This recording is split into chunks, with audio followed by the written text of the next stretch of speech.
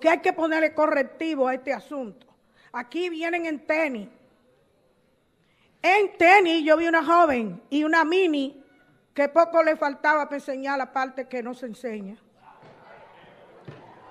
Entonces, desgraciadamente, yo me quedé callada, pero con cuerda.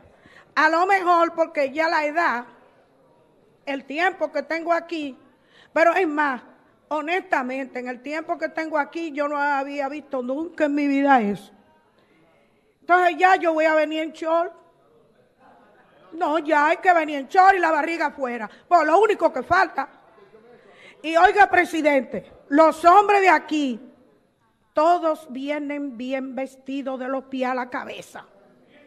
Nadie puede decir que ha visto uno de los, de los diputados de aquí que hayan venido mal vestidos. Nadie. No lo siento, pero es así. La parte femenina de nosotras, perdón, es que usted puede exhibir sus atributos sin necesidad de tanto espaviento. Digo yo. Entonces, no hay que exhibir tanto. Entonces, aquí hay un código de vestimenta.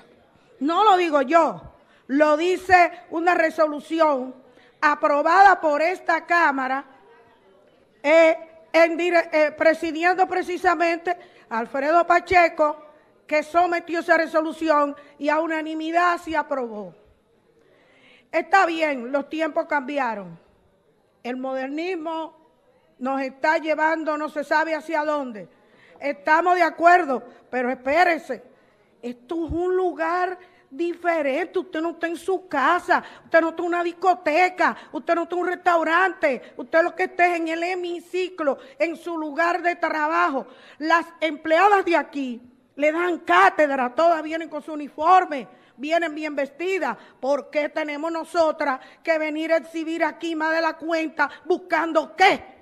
Entonces, presidente, hago mía la resolución que un día usted mismo sometió y quiero que le dé una copia a cada persona del código de vestimenta. Y aunque ustedes no lo crean, aunque ustedes no lo crean y piensen eh, que lo que viene está vieja, vieja, pero no tonta. Entonces yo he caminado el mundo entero, el mundo entero y voy a los congresos y veo cómo se viste. Y le puedo decir que también hay que aparentar lo que uno es. También la solemnidad del lugar lo requiere. Protesto por esa situación. No le dije nada ese día porque yo estaba metida de lleno en la ley de extinción de dominio y no, eh, la dejé pasar, pero no la puedo volver a dejar pasar porque viene una nueva legislatura.